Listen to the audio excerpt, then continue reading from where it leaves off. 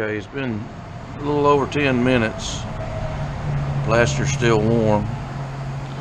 Let's see what we can do. Alright. Popped right out. See how that plug I put in the center popped right out. Right back on. It's still very green, but it's set up enough. You can see the paper towels I put on there to help with the draft. Uh, it's not very common to do a drop mold with a seam. I'm gonna leave this rubber seam uh, closed here when I go to taking the rubber off. But anyway, um, you'll be careful trying to take this off. Very thin.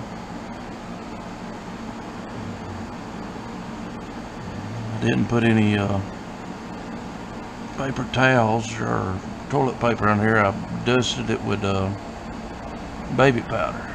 Alright. Broke loose. Still green. Gotta dry it. Uh, I didn't mark it. I'll be able to figure it out. Same way with this piece. Okay. Still very green. Uh, three folded layers plaster.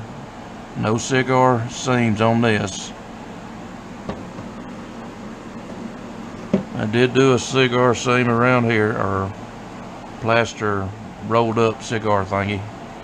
Uh, you can see where the, uh, uh, this is a rushed rubber, which we don't like to do that, but it's been vulcanized out here two or three days. I did have some ballooning.